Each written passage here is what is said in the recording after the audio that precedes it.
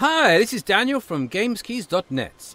In this video, you'll learn the exact location to get the deathbed dress and Lionel's armor in the Elden Ring. Don't forget to subscribe for more captivating Elden Ring content.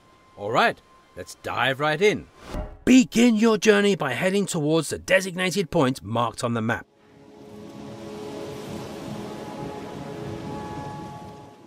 Once you arrive at the location, follow my lead closely.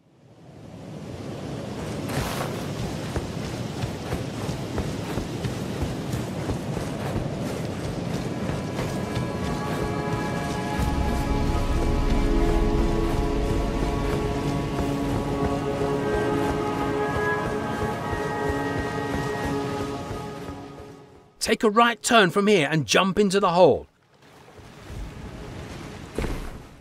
Move along the directed path.